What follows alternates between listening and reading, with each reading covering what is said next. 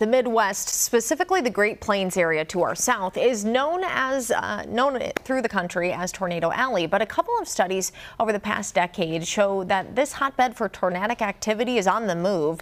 And Jeff actually took a closer look for us at the maps and what this means for people living in Minnesota and Wisconsin. Jeff? Yeah, Aaron, the bold north, no stranger to tornadoes. Our frequency might not be as high as Oklahoma, but it's still a reality for the region. The good news is this apparent shift in Tornado Alley isn't north northward so much as it is eastward. So let's start with where Tornado Alley has traditionally been found. This map right here, it came from that study in the Journal of Applied Meteorology and Climatology. It's showing data from 1951 to 1985. And you can see that Oklahoma is sort of this epicenter of the activity spanning northward to Kansas and down to Texas. However, parts of Minnesota and Wisconsin are included, although not as severe.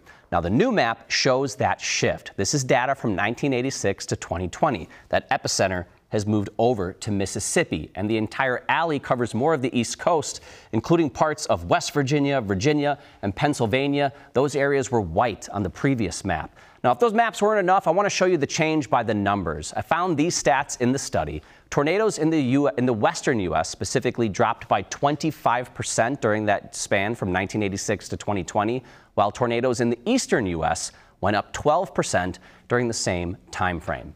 Next weather meteorologist Mike Augustyniak is joining us now to help us understand what this means. And first, Mike, why is this shift happening? Uh, well, it comes down to, I mean, it's complex as to why severe weather happens in the first place, but it seems like it's coming down to just drier air overall farther west and more moisture being uh, kind of exposed in the central and eastern plains. So that's a big driver of severe weather. Three things you need lift, instability, and moisture. And so that's the third one. So that's the shift. But in our region, you wanted to look back at just the past two years? Yeah, because they're, they're two studies in, in complete opposites, essentially. And this is not necessarily tied to the trend or this research, but it does sort of encapsulate how dry air can have an impact on suppressing severe weather. So last year, we had 25 tornado reports in the state of Minnesota the entire summer.